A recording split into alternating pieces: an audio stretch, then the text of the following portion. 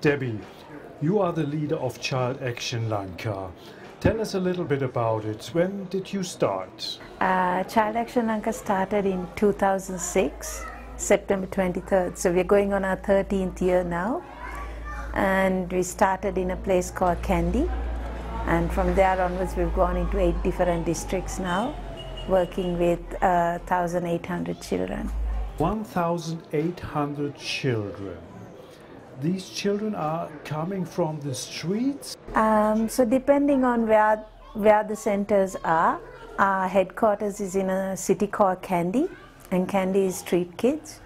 When we say street, they are the kids who live on the streets, or if not, their parents work on the streets, so they spend a lot of their time on the streets. And um, if not, their family situation is such that if we didn't help them, they would soon be living on the street.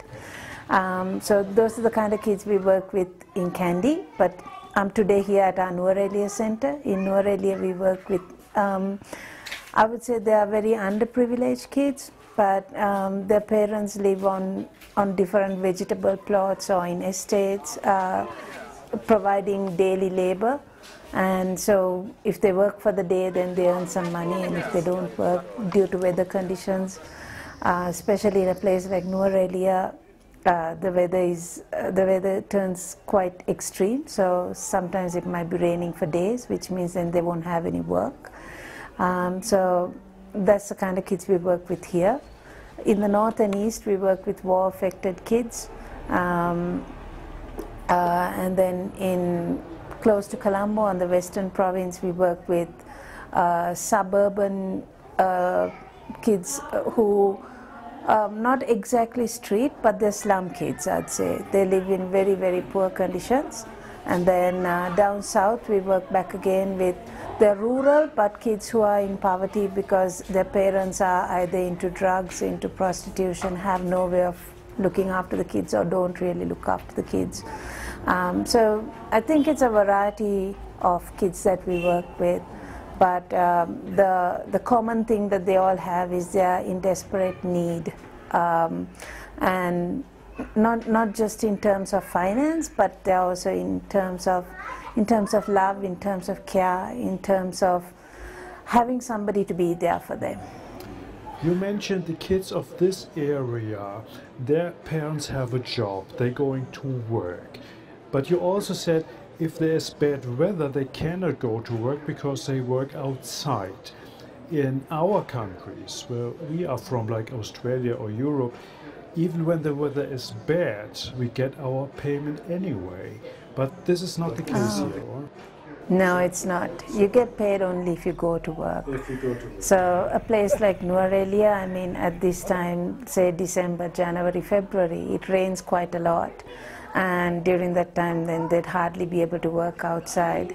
Um, even the other times, I mean, especially this area, the weather is quite extreme, so it can be, you know, it, there might be, come April, it gets really hot, um, and then there's drought. So then there's no water to do any kind of gardening or anything like that. So then they won't have work either. When it comes to rainy times, it rains so much that then they can't work either. And when they don't work, they don't get paid. How do people manage their lives? That's where the problem lies. So because of that, they end up getting themselves into a lot of debt. Mm. Um, and then by the time they try to pay off one debt, it's time to take another debt, a loan to, you know, live the next part of their life.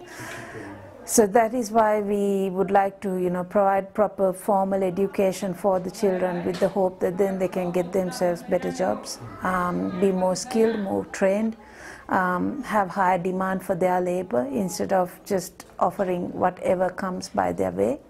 Um, so that's the plan with these centers. Yeah. In your first answer, you mentioned the street kids in Kandy we have no idea how it is to live on the streets, especially as a kid. Do you have an idea?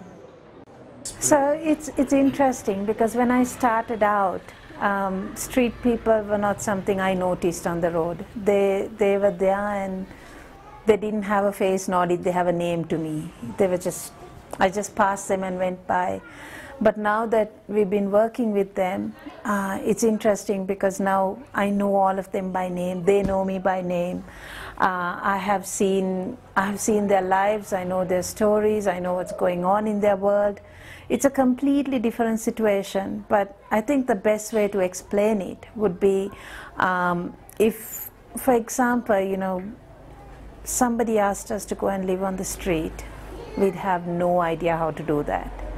It's the same for them. You ask them to go and live in a house, they've got no clue as to how to live in a house. They live on the streets, and you know, especially Kandy is a very touristy place, so lots of the tourists end up giving them some money. Um, and for that reason, they like to keep their children with them, so people feel sorry, give them some money. The money sadly doesn't go to the children. Uh, it goes to feed their habits of alcohol or drugs or anything like that. Um, and so, you know, the kids are back again left to their own devices to do anything that they can or they would. Um, so children at a very young age, they start going and trying to trade things in town, trying to sell things. At the same time, they get caught to drug traffickers who might use children to go and sell their products. Um, or even you know, for prostitution or anything like that. But these are kids who would be seated on the streets or, you know, in car parks, um, in, in garden parks. They're, they're around making mischief, uh, creating all the trouble in town. Very, very cheeky bunch. Um, and we actually had uh, the governor of Kandy at that point uh, say that the level of crime had gone down in the city because the children were not around in town to create mischief. They're actually at our centers now. So these are the kids, I mean, if you came into Kandy and say, for example, Child Action Lanka Center was closed on that day, they'd be walking around the streets. They'd be all over. They'd be trying to, you know, come and ask you for money or they want your things or, you know, they'd be following you around. Um, and it, people feel sorry and would give them something.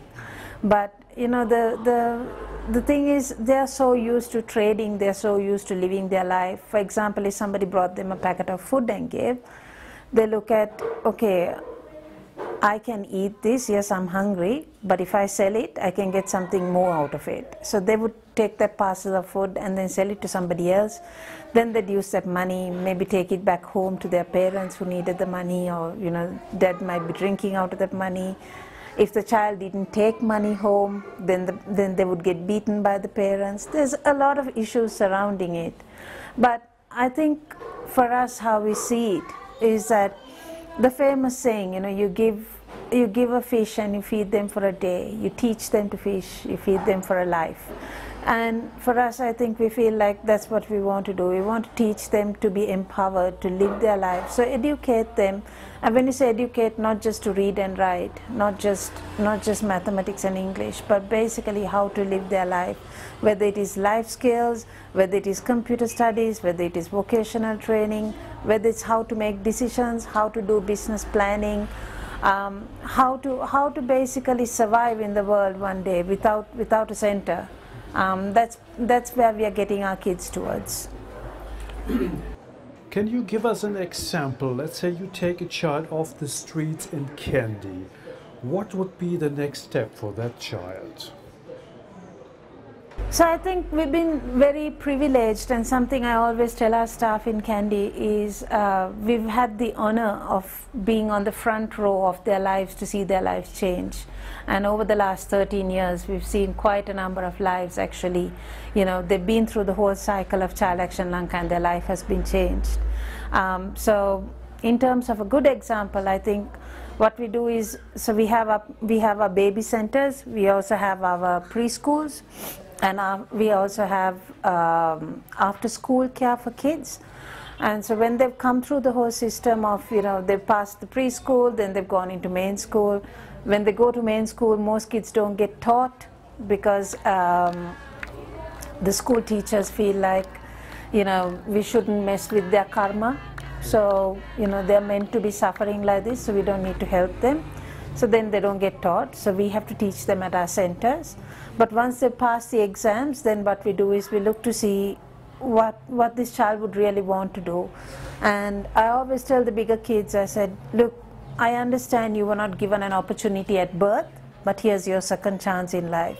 So dream big, whatever it is you want to do. I believe God's favor is on these kids. To date, we've been able to make their dreams come true.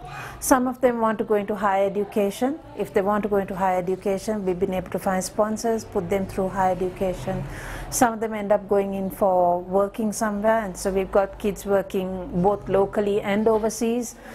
Um, some of them, they want to start their own business. So we've got kids in and around Kandy and a few other cities doing their own businesses now. We've been able to link them up with mentors. So there'll be somebody who's able to guide them and advise them along the way.